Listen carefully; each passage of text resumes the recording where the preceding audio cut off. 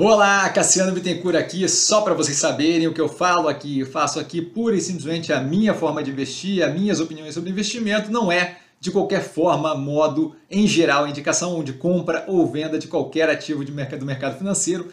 E agora o vídeo, valeu! Olá, Cassiano Bittencourt, pelo Visão Estrategista, neste momento para falar da Alpargatas. Desculpa, operação que vem numa recuperação é, de um momento mais complicado no quarto trimestre. Tá? A gente tem a operação sendo dona da Baianas, com investimento relevante na Rothes, isso comentado a fundo lá no segundo trimestre de 2022, esse investimento na Rothes. Tá aqui um trimestre com menos a explorar, tá? mais um acompanhamento do processo de reestruturação, só para garantir que estamos na direção certa. Tá? A gente teve um início de forte piora da operação no quarto trimestre de 2022, explicado no vídeo do trimestre, com abertura ponto a ponto, que se faz muito importante compreender, senão não tem como entender para onde a gente está indo. Tá? Assim como o vídeo do primeiro trimestre e segundo trimestre, o primeiro trimestre com a mudança do CEO, todos os vídeos aqui embaixo na descrição desse vídeo. Tá? É importante compreender que aqui a gente tem um processo de virada operacional, tá? Então os vídeos começam a ficar cumulativos, é, fica muito complicado entender para onde estamos indo se a gente não tiver o conhecimento de o que tem acontecido. Tá? O resultado pontual do trimestre continua pouco relevante, tá? Com o valor como valor absoluto, tá? Dado o processo de transição pelo qual a operação está passando, tá? Que não é representativo o tal resultado pontual tá? da, da projeção ali de longo prazo para a operação. Tá? Mas a melhoria no comparativo versus o trimestre anterior mostra um início de retorno da operação mais forte na direção correta, tá? na direção de evolução positiva operacional. Antes de mais nada, a estrutura acionária na tela, tá? para a gente ver. Sempre é positivo ter esse, essa informação aqui daqui para frente. Tá? Eu, eu vivendo e aprendendo aí. Evolução do preço na sequência, apenas para dar uma ideia tá? da evolução. A gente teve aumento de posição desde o trimestre anterior, está em 37,5% aí na tela, tá o preço, se não me engano, 7,40, mas tem aí na tela, definidinho.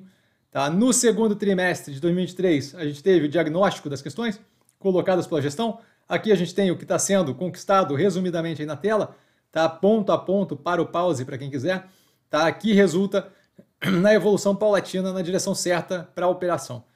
Tá? A gente vai a continuidade da redução de estoque, a gente vê, na verdade, a continuidade da redução de estoque na tela para o pause, tá?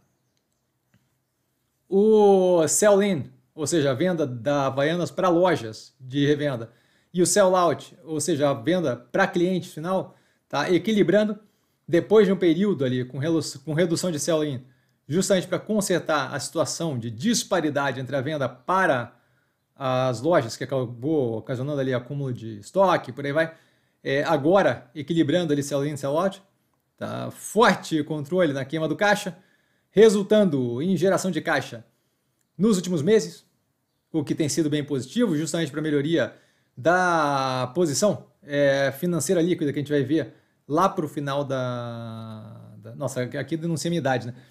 É, a gente vai ver lá para o final da, da apresentação é, posição financeira líquida, é, eu consigo lembrar com facilidade porque lembra PFL, que é um partido que grande parte da galera que está ouvindo nem sabe do que se trata. partido político. Ainda temos muita coisa para fazer, tá? mas eu continuo vendo boa continuidade no processo da operação. Tá? A gente continua com o due diligence rápido, tá? dada a pouca relevância do resultado pontual, como comentado antes, em período de transição, mas com forte melhoria em alguns fatores, especialmente a lucratividade e o EBITDA, tá? versus o período anterior. A receita líquida na tela tá queda de 17,8% versus o mesmo período no passado. O trimestre anterior, só para informação, estava em 919,2 milhões. Então, melhor no trimestre anterior, mais, mais forte o faturamento no trimestre anterior. A abertura do Brasil na tela, tá? o sell-out ainda pressionado, como a gente vê aí. Tá? A gente vê ele a forte redução no estoque. Internacional, que foi comentado no trimestre passado, que é justamente relevante aqui, porque a gente tem menor ganho ali por, por por cada chinelo e, e acaba que isso daí afeta fortemente o, o estoque. Tá? Bom, explicado na análise passada. Internacional ainda sentindo efeito do embaraço logístico na União Europeia, no, no, na Europa, na verdade. Tá? E isso daí, é, como dito na análise passada, é, vai exigir um tempo para recuperar, tá? dado o azedamento de relacionamento com parceiros, então já era esperado que tivesse uma continuidade da pior aqui. A margem bruta, com mais detalhes na direita. Brasil com melhoria forte versus o trimestre anterior. Internacional com piora, tá vindo aí de 27,5 e 60,5 no trimestre anterior, respectivamente, tá? Brasil e Internacional. Despesas operacionais também com maiores aberturas, tá? apenas para informação na tela. A ponte do EBITDA é, mostra, mostra um resultado bem negativo, tá? mas menos negativo do que do período anterior, onde a gente tinha 7 milhões desse EBITDA normalizado, tá? então bem menos pior.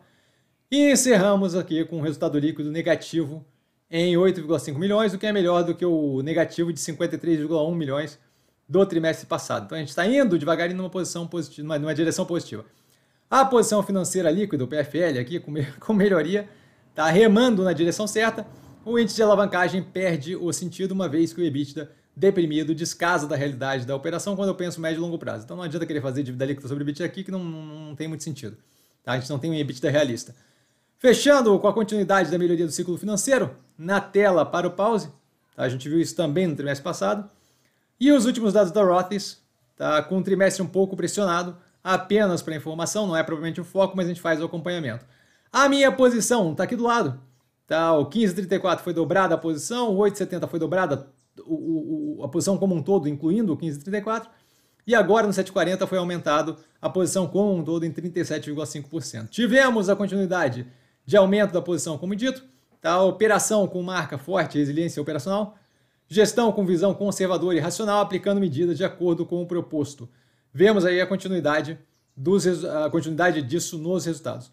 Tá? O preço estupidamente descontado, mesmo com o momento apertado, como explicado no quarto trimestre de 2022 e primeiro trimestre de 2023. Longo prazo alongado, tá? tem uma esticada no longo prazo aí da operação, mas bem positivo eu vejo com o médio e longo prazo muito positivo para o ativo, apesar do momento pressionado e resultado negativo. E dúvida, dúvida sempre no Instagram, arroba investir consciência, vai lá falar comigo. Não trago a pessoa amada, mas sempre lá tirando dúvida e vai lembrar que quem aprende a pensar bolsa opera com o detalhe. Um grande beijo a todo mundo e nos vemos aí, eu não sei mais em que ponto estamos, mas nos vemos. Valeu, galera, beijão.